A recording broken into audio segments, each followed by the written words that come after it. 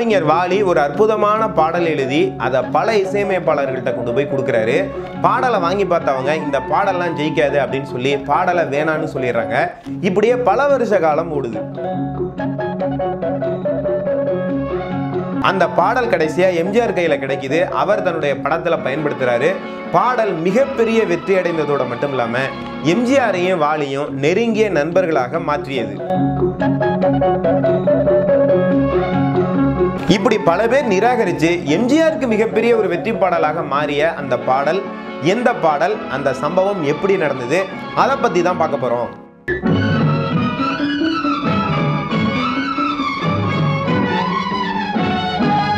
தமிழ் சினிமாவில் வந்து ஒரு மிகச்சிறந்த கவிஞராக பாடலாசிரியராக ஜெயிக்கணும் அப்படிங்கிற லட்சியத்தோடு தான் வாலி அவர்கள் சென்னைக்கு வராரு. ஆனால் இங்கே சென்னையில் வந்து படாத பாடுபடுறாரு.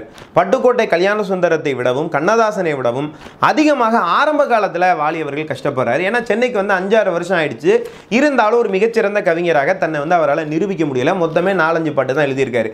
சாப்பாட்டுக்கே கஷ்டப்படக்கூடிய அந்த ஆரம்ப காலகட்டத்தில் வாலி அவர்களுடைய அன்றாட வேலை என்னென்னா தினமும் காலையில் எந்திரிச்சு போய் இசையமைப்பாளர்களை சந்தித்து அவங்க கிட்ட தான் எழுதின பழைய பாடல்களை எல்லாம் கொடுத்து எனக்கு உங்க படத்துல பாட்டு எழுத வாய்ப்பு கொடுங்க அப்படின்னு கேட்கறது தான் அப்படி இசையமைப்பாளர்களை சந்திக்கும் போது அவங்க வந்து நீங்க எழுதின ஏதாவது ஒரு பாட்டை கொடுங்களேன் பார்ப்போம் அப்படின்னு சொல்லி கேட்டா தான் எழுதிய பழைய கவிதைகள் பழைய பாடல்கள்ல இருந்து ஒரு பாட்டை எடுத்து தான் எப்போதுமே வாலி எல்லா இசையமைப்பாளர்கள்ட்டையும் கொடுப்பாராம் ஏன்னா வாலிக்கு அது ரொம்பவே பிடித்த ஒரு ஃபேவரட்டான ஒரு பாடல். இப்படி பல இசையமைப்பாளர்களை சந்தித்து வாய்ப்பு கேட்டுக்கிட்டு இருந்தபோது ஒரு நாள் எம்பி சீனிவாசன் அப்படிங்கிற ஒரு இசையமைப்பாளரை வாலி சந்திக்கிறாரு. அப்படி அவர்கிட்ட வாய்ப்பு கேட்கும்போது நீங்கள் எழுதின ஏதாவது ஒரு பாடலை கொடுங்க பார்ப்போம் அப்படின்னு இசையமைப்பாளர் எம்பி சீனிவாசன் கேட்குறாரு. உடனே வாலி அவருக்கு பிடித்த அந்த பாடலை எடுத்து அவர்கிட்ட கொடுக்குறாரு.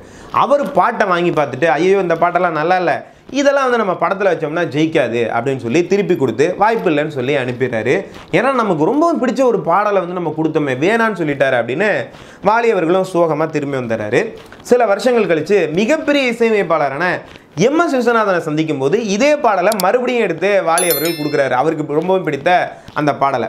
அதை எம்எஸ் விஸ்வநாதன் வாங்கி பார்த்துட்டு ஐயோ இந்த பாட்டெலாம் நல்லா இல்லை. இதுக்கெல்லாம் நம்ம இசையமைச்சு படத்தில் வச்சோம்னா ஜெயிக்காது அப்படின்னு சொல்லி திரும்பி கொடுத்துட்றாரு இப்படியே காலங்கள் உருண்டோடுது. கொஞ்சம் கொஞ்சமாக வெவ்வேறு பாடல்கள்லாம் எழுதி தமிழ் சினிமாவில் ஒரு கவிஞர் அப்படிங்கிற ஒரு இடத்தையும் வாலி அவர்கள் பிடிச்சிடறாரு ஆனால் எந்த இசையமைப்பாளரும் வாலிக்கு பிடித்த அந்த ஒரு பாடலை மட்டும் வாங்கி பயன்படுத்தவே இல்லை. அதுக்கப்புறம் எம்ஜிஆர் நடிக்கிற படகோட்டி படத்தில் பாடல் எழுதக்கூடிய வாய்ப்பு வாலி அவர்களுக்கு தேடி வருது. அப்போ அந்த படத்தோட தயாரிப்பாளர்கிட்ட தனிப்பட்ட முறையில் வலிந்து சொல்லி இந்த பாடலை அவர்கிட்ட கொடுத்துட்றாரு அந்த தயாரிப்பாளர் இந்த பாட்டை வாங்கிட்டு என்ன சொல்கிறாருன்னா சரி இதை நம்ம ரெக்கார்டிங் பண்ணி எம்ஜிஆர் கிட்ட போட்டு காமிப்போம். அவர் சொன்னால் மட்டும்தான் நான் படத்தில் வைப்பேன். இல்லைன்னா நீங்கள் கோச்சிக்க கூடாது அப்படின்னு சொல்லிடுறாரு. என்னடா இத்தனை வருஷ காலம் இத்தனை பேர் நிராகரிச்சுட்டாங்க. கடைசி எம்ஜிஆர் கிட்ட போது எம்ஜிஆர் என்ன சொல்ல போகிறாரு அப்படின்னு ஆர்வமாக வாலி காத்துக்கிட்டு இருக்கிறாரு. இந்த பாடலை ரெக்கார்டிங் பண்ணி அந்த படத்தோட தயாரிப்பாளர் எம்ஜிஆர் கிட்ட அதை போட்டு காமிக்கிறாரு. இது என்ன மாதிரியான காலகட்டம் அப்படின்னு சொன்னால் எம்ஜிஆரோட படங்களுக்கு பெரும்பாலும் பட்டுக்கோட்டையும் கண்ணதாசனும் மாறி மாறி பாட்டு எழுதிக்கிட்டு இருந்தாங்க. இன்னும் குறிப்பாக சொல்லணும்னா எம்ஜிஆர் படங்களில் முக்கியமாக பட்டுக்கோட்டையினுடைய பாடல் வந்து இடம்பெறணும் அப்படின்னு சொல்லி அவர் வந்து நினைப்பார். அப்போ தான் சமீபத்தில் பட்டுக்கோட்டை இறந்து போயிருந்தார். அதனால் எம்ஜிஆருடைய பட பாடல்கள் முழுவதும் கண்ணதாசனை நம்பி தான் இருந்தது. ஆனால் கண்ணதாசன் திமுகவில் இருந்து காங்கிரஸுக்கு போய் காமராஜர் கூட இருந்துக்கிட்டு எம்ஜிஆர் கருணாநிதி அண்ணாவை திட்டிக்கிட்டு இருந்தார். இருந்தாலும் வேற வழி இல்லாமல் கண்ணதாசன்ட்டே போய் மறுபடியும் மறுபடியும் பாடல் எழுதி வாங்கணும் அப்படிங்கிற மாதிரி ஒரு சூழ்நிலையில் எம்ஜிஆர் இருந்தார். இப்போ கண்ணதாசனை மாற்ற முடியுமானா அவ்வளோ சீக்கிரம் அப்படிலாம் மாற்ற முடியாது. இப்போ அவருக்கு இணையாக நல்ல பாடல் எழுதக்கூடிய ஒரு கவிஞர் வரமாட்டாரா அப்படின்னு சொல்லி ஒரு தர்ம சங்கடத்தில் எம்ஜிஆர் காத்துக்கிட்டு இருந்த நேரத்தில் தான் இந்த பாடலை இவருக்கு வந்து போட்டு காமிக்கிறாங்க. இந்த பாடலை கேட்டோன்னே எம்ஜிஆருக்கு சந்தோஷம் தாங்க முடியல. ரொம்ப உற்சாகமாக தயாரிப்பாளரை கூப்பிட்டு இந்த பாடல் அருமையாக இருக்குது இதை படத்தில் வச்சிருங்க அப்படின்னு சொல்லி ஓகே பண்ணுறாரு அதோடு மட்டும் இல்லாமல் இந்த பாடல் எழுதின வாலி அவர்களை இன்னைக்கு சாயங்காலம் நான் சந்திக்கணும் கூட்டிட்டு வாங்க அப்படின்னு சொல்றாரு. வாலியும் எம்ஜிஆரும் சந்தித்து பேசுகிறாங்க உற்சாகமடைந்த எம்ஜிஆர் அன்னைக்கு சாயங்காலம் நடந்த ஒரு அரசியல் கூட்டத்தில் அறிவிக்கிறாரு. இனிமே என்னுடைய படங்களுக்கு கண்ணதாசன் பாடல் எழுத மாட்டார். வாலி தான் எழுதுவார் அப்படின்னு சொல்லி அறிவிக்கிறார். இப்படி பல பேர் பல வருட காலம் நிராகரித்த ஒரு பாடல் கடைசி எம்ஜிஆர் கிட்ட போய் படத்தில் இடம்பெற்று மிகப்பெரிய ஒரு வெற்றியடைந்த பாடலாக மாறியது.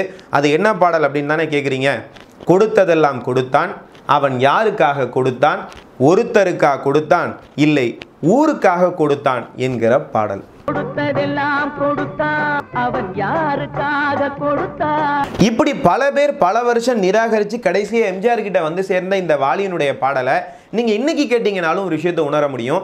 கண்ணதாசனினுடைய கவித்தரமும் பட்டுக்கோட்டையினுடைய மக்கள் சிந்தனையும் கலந்த மாதிரி வாலி அவர்கள் இந்த பாடல் எழுதியிருப்பார். இது எம்ஜிஆருடைய படத்தில் வந்து மிகப்பெரிய வெற்றியடைந்த பாடலாக மாறியதோடு மட்டும் இல்லாமல் வாலிக்கும் எம்ஜிஆருக்கும் ஒரு ஆழமான நட்பை ஏற்படுத்தியது அப்படின்னு சொல்லலாம். கவிஞர் வாலியினுடைய வாழ்க்கை கதையை நம்ம முழுமையாக பார்த்துட்டு இருக்கோம். அதில் இந்த இடத்துல நிறுத்தி உங்களோட ஒரு செய்தியை பகிர்ந்துக்கணும்னு நினைக்கிறேன். நம்மலாம் வாழ்க்கையில் கடுமையாக போராடிக்கிட்டு இருக்கோம் முயற்சி பண்ணுறோம் ஆனால் எல்லா நேரங்களையும் நமக்கு வெற்றி கிடைச்சிருதா அப்படின்னா அது கிடைக்கிறது இல்லை அது அப்படியே கை நழுவி போய்கிட்டே இருக்குது. சில நேரங்களில் நமக்கு விரக்தி வந்துடும் என்னடா வாழ்க்கை இதுன்னு சொல்லி நம்ம சோர்ந்து போயிடுவோம் ஆனால் அதுதான் நம்ம பண்ணுற தப்பு. நம்ம தொடர்ந்து முயற்சி பண்ணிக்கிட்டே இருக்கணும். அப்படியே தாமதமான அந்த வெற்றி இருக்கு இல்லையா? அது ஒரு மிகப்பெரிய வெற்றியாக மாறி நம்முடைய கைக்கு ஒரு நாள் நிச்சயம் வந்தே தீரும். வாலியனுடைய வாழ்க்கையில் நடந்த இந்த சம்பவம் அதற்கு ஒரு நல்ல உதாரணம். இந்த யூடியூப் சேனல் உங்களுக்கு பிடிச்சிருக்குன்னா இந்த சேனலை சப்ஸ்கிரைப் பண்ணி பக்கத்தில் இருக்கிற பெல் ஐக்கனை கிளிக் பண்ணுங்க. மறுபடியும் அடுத்த பதிவில் சந்திக்கலாம். அதுவரை உங்களிடமிருந்து விடைபெறுவது உங்கள் அன்பு நண்பன் துரை சரவணன் நன்றி வணக்கம்.